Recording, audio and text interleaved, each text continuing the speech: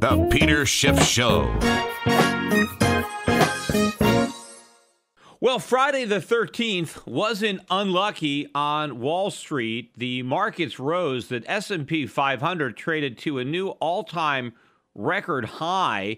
Uh, not quite so for the Dow. I guess a record high in the Dow is going to have to wait till next week. But we did manage to close above 18,000.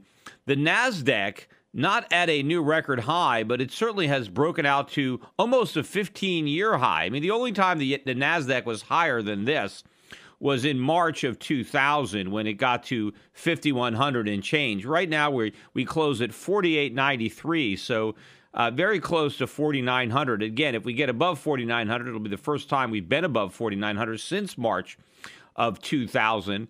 Uh, so a huge uh, rally going on in the U.S. stock market, but this rally is coming despite weak corporate earnings, uh, down earnings uh, downgrades coming by companies, companies issuing warnings that their earnings are not going to uh, meet expectations. There have been some stocks that have reported better than expected earnings, but the overall trend is weaker earnings. And of course, many companies are using the dollar as an excuse as to why their earnings are down. But nonetheless, uh, lower earnings. We're certainly getting weak economic data. The economic data uh, you know, is trickling in or it's a flood, uh, the market seems to be uh, buried beneath a deluge of um, bad economic news, but it doesn't seem to dampen the spirits on Wall Street.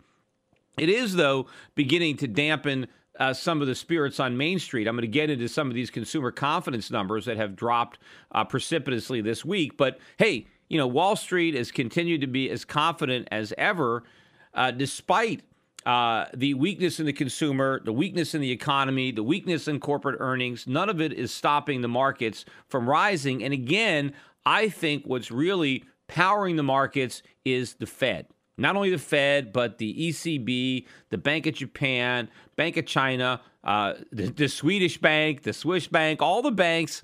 You know, Sweden just this week joined the QE club as if the, their currency hadn't lost enough value last year. They decided they needed to push it even lower uh, by launching a QE program. But it's all this liquidity. That's where these markets are floating on. And if the Fed is going to keep creating money, and I think this weak economic news, again, is propping up the markets because it takes the rate hikes off the table, even if people don't want to acknowledge it yet. But I think eventually that is exactly what is going to happen. But let me look at some of the economic news that has come out since my last uh, podcast. On Wednesday, we did get the mortgage, weekly mortgage applications, which plunged. It was a 9% drop on the composite index. Uh, breaking it down, the decline in purchases was a 7% decline. That followed a 2% decline in the week prior.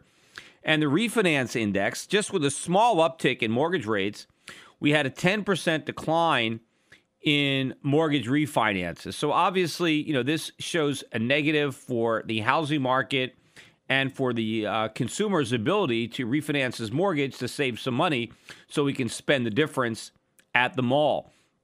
But we got the jobless claims that came out on on Thursday, the weekly number, and I've been talking about how this trend has turned higher, and we got a big jump up we got a 25,000 claim increase over the prior week, which was revised up by a thousand.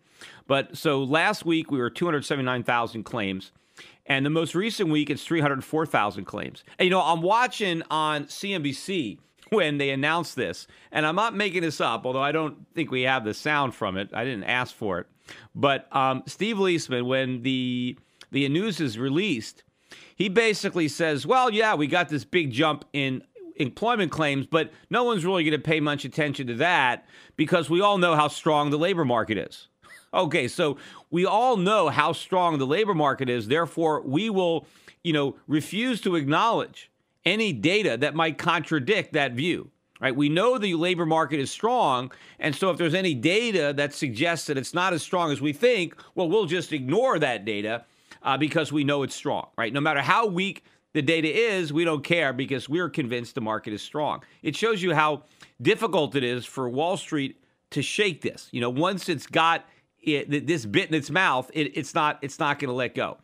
The worst no- news we got that day, though, was retail sales. Now, retail sales were down 0.9 percent in the month of December, and they were looking for another decline in January, but only five tenths. Instead, we got eight tenths. So almost twice, uh, 80, not quite twice. So 80% bigger drop than they thought. Take out automobiles. Again, the, the drop was nine tenths when they were expecting uh, minus five tenths. And then that comes on the heels of another 0.9% decline in December. And even if you strip out gasoline, there was a slight uptick, 0.2%. If you take out gas and autos, it was up 0.2, but uh, they were looking for up 0.4. So again, half the expectation. In fact, this is the biggest back-to-back decline uh, in in retail sales since October of 2009. You know that's you know, that's the depths of the uh, the Great Recession. So, you know, th- this is a big feat to have that big a decline. And, you know, everybody was assuming that, well, you know, the money that wasn't spent at the gas station, consumers were going to spend that money someplace else. Well, so far, the data does not bear that out because the spending is not showing up someplace else. That was just wishful thinking. Also, we got consumer confidence numbers that came out from a Bloomberg Consumer Comfort Index, and that was down uh, from the prior week. In fact, it was the down for two weeks in a row. And again, that's the first time that's happened in, in a while that we've seen back to back weekly declines in um, in consumer in consumer confidence. I think that the last time that happened was uh, was September of of last year. But again, you know, Wall Street didn't seem to care about about that news. They just kind of shrugged it off uh, but I think probably one of the worst pieces of data that came out because it reflects upon fourth quarter GDP. And we've already seen all sorts of reasons why I believe that we're going to see big downward revisions in fourth quarter GDP. Uh, you know, the biggest one being the huge jump in the trade deficit in December, much bigger than they thought, which subtracts from GDP. But this is inventories, business inventories, and they were supposed to rise by 0.2 Instead, they, they only rose by 0.1, which is a very, very small increase in, in, in, in inventory. And if you look at the, the sales numbers, sales have declined dramatically. So if you look at the inventory to sales ratio, right, this is the highest it's been since July of 2009. Again, what that indicates is that businesses are not able to sell their inventory right? Their inventories are building faster than their sales. It means they have too much inventory. And remember, I said that one of the reasons that Q3 GDP was so good is because businesses loaded up on inventory because they thought the economy would be strong and they would sell it. But the, the, the, the, rising inventory to sales ratio is showing you that the business is screwed up they bought too much stuff. And so that big GDP number is at the expense of lower GDP numbers we're getting in the future because now businesses have too much stuff and they have to let their inventories run down. So they're not going to buy as much stuff because they can't sell the stuff that they already bought. So all this, number one, means that the fourth quarter GDP is going to be lower now again because of the build in inventories uh, uh or the smaller build. But it also means that first quarter, the quarter we're in now, uh, is going to be impacted because businesses are not going to have to order as much stuff because they already have a lot of stuff that they, they already ordered last year that they haven't sold. So that was more weak economic news coming out. So again, weak confidence, weak uh, inventories, uh, weak sales numbers. Uh, in fact, it, it, it, inside inside that report, you had you had a big you had a big decline in uh, in sales. I am trying to see if I can find the number here. Yes, sales fell 0.9% in that report. That was the biggest decline in the year, and it's the fifth consecutive monthly decline, five months in a row. Yet Wall Street is talking about this strong U.S. economy, and you get really, really weak numbers like that. And, you know, th- we continued this today. You know, we got the import export prices, which showed big declines year over year. Import prices down 8%, export prices down 5.4%. Again, this is the kind of stuff the Fed's not going to like that, right? There's nothing wrong with these prices coming down, but how is the Fed going to react to that? Because the Fed says they want inflation. So are they going to be raising rates uh, with uh, import and export prices declining? But the big news that they ignored was the huge drop in the uh, consumer sentiment survey that came out for the month of February. And last month, the number was at a record. The sentiment level was at 98.1. It was the highest it had been in 13 years. And they were looking for it to increase. The consensus was that it was going to inch up to 98.5. Instead, it plunged all the way down to 93.6. Now, 93.6 is still big, but it's a lot lower than 98.5. In fact, this is the biggest miss versus what had been expected in the history of this study, this this this this index. So everybody was looking for consumers to be more confident. Instead, they're a lot less confident. And I think this is probably the beginning of a trend because we had a steady increase in confidence for five months in a row. And now I think it's peaked and now we're falling fast. Uh, so consumers are losing confidence in this phony recovery. It seems their part time jobs are not enough uh, to buy the things that they need. They got a short term boost from the uh, fall in gasoline prices, but gasoline prices have been rising. You know, Brent uh, Brent crude is above sixty dollars now. West Texas uh, closed above 52, uh, 52.60. To me, the market looks stronger. I think a lot of people are short the oil market. In fact, I think one of the reasons we had this big rise in the stock market is I think there is a lot of short covering this week. I think a lot of people who got short uh, had to cover. Maybe they thought that there'd be some weakness based on weak economic data, and they didn't get it and so they had to they had to cover those positions.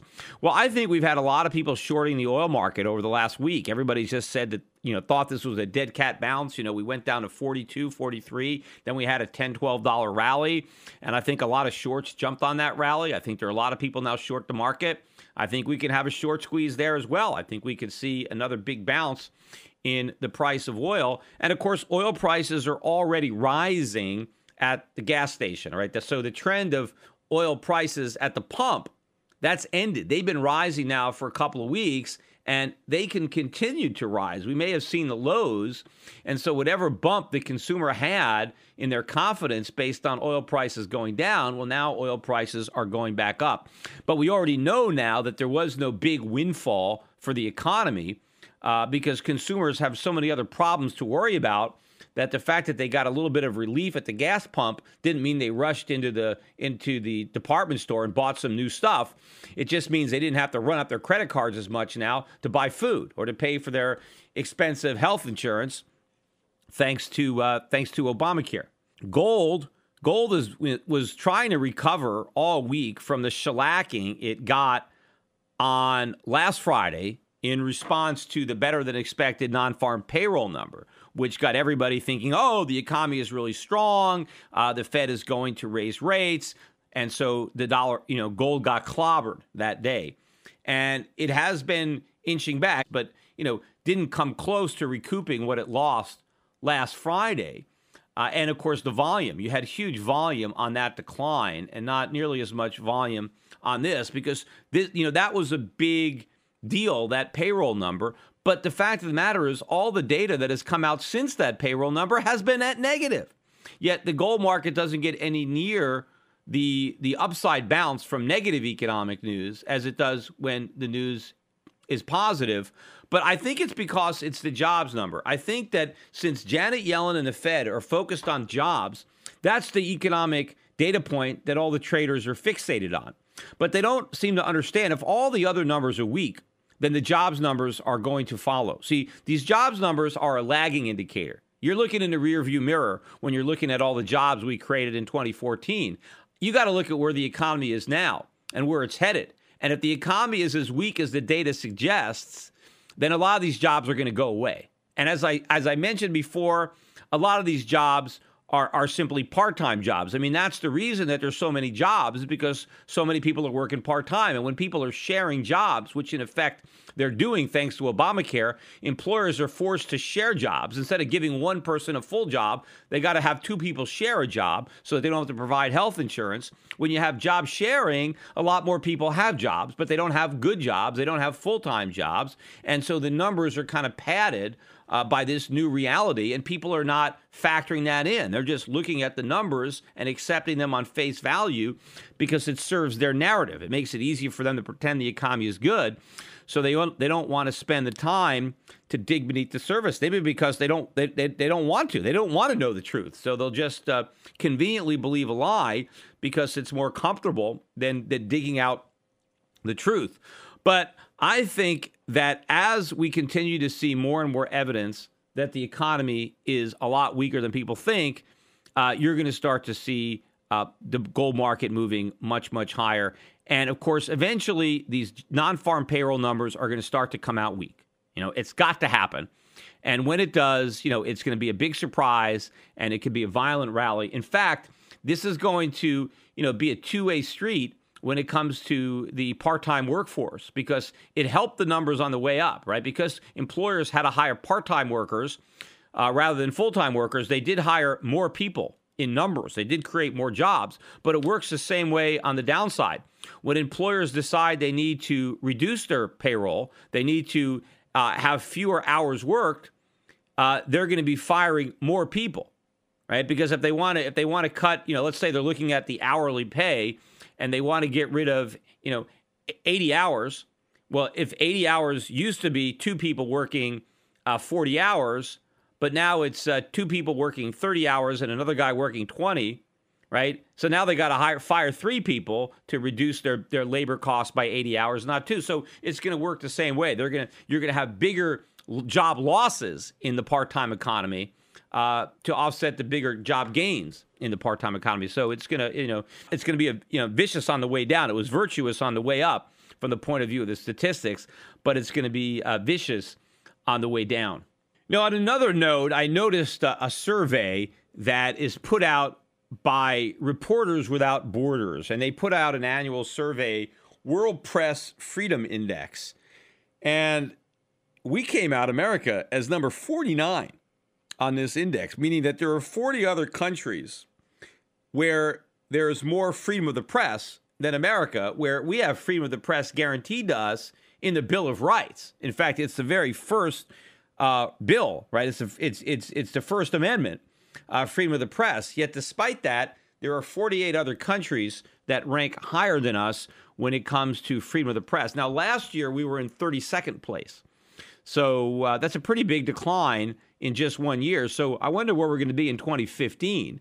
Uh, because obviously the direction uh, is not good. But this is just another indication. You know, there are a lot of other studies that come out that rank uh, economic freedom, uh, things like that. America continues to notch lower and lower relative to other countries. And of course, freedom and prosperity go hand in hand. And as governments become bigger and freedoms become fewer, uh, you know, you retard economic growth. And, and then it also becomes a self perpetuating spiral because as the economies get weak, the government uses that weakness to usurp more power because now, you know, you create the despair among the people and now the government can promise some kind of relief uh, in exchange for more power, which they get. And then when they have more power, you sacrifice more individual liberty, more freedom. And then, of course, as things get bad, you always have some dissent. You always, ha- always have people that want to rightly blame the government, and now the government reacts uh, with oppressive legislation. And of course, as you have real economic chaos and people are looking to protect their wealth or maybe get their money out of the country, well, they crack down on that. And so, oppressive governments uh, tend to uh, take away freedom of individuals to uh, protest, to dissent, to leave. And of course, when you have a, a, big government that limits your freedom, well, then you have a less vibrant economy. You have more poverty. You know, you, know, you have less economic growth. So again, they, they they they feed on each other. So it's no surprise that you know the U.S. is is notching down. Uh, in all of these metrics, which is unfortunate. I mean, we should be number one in everything. We it's when it comes to freedom, you know. Uh, but unfortunately, we're not. I'm sure if they were doing these surveys 100 years ago, uh, America would be number one in economic freedom, freedom of the press. There probably wasn't anything, you know, back then uh, where we weren't the freest. But to think that you know there are 48 countries that the Reporters Without Borders, probably not a very conservative, you know, li- you know, right wing type organization. I would imagine there's a lot of uh, liberals uh, that are you know in that organization, and and yet you know this is where the United States ranks ranks as number 49. Now, who knows? Maybe they're being generous. Maybe they're maybe there's a bias in there. Maybe we're actually lower than that. You know, maybe you know maybe we're benefiting get the benefit of the doubt here on some of the countries that we were able to edge out. Today's financial advisors behave like pro wrestling TV commentators. They scream that the recovery is strong, debt is manageable, inflation is low, and that the Federal Reserve has everything under control. They may be oblivious, but the danger is real. Looking beyond the media hype can open a world of broader investing ideas. Euro Pacific Capital is a registered investment advisor that offers stock focused wealth management services that closely follow the strategy of our founder and CEO, Peter Schiff. We concentrate on those countries that are more closely in tune with Peter's vision of how capitalism is supposed to work. And these investments are not hard to find, provided you know where to look. Isn't it time you change the channel and let Euro Pacific put a little reality back into your portfolio? If you live in the United States and have $25,000 or more to invest, call 800 727 7922. That's 800 727 7922. Non U.S. residents access similar strategies through Euro Pacific Bank at europacbank.com. Euro Pacific Capital and Euro Pacific Bank are affiliated companies.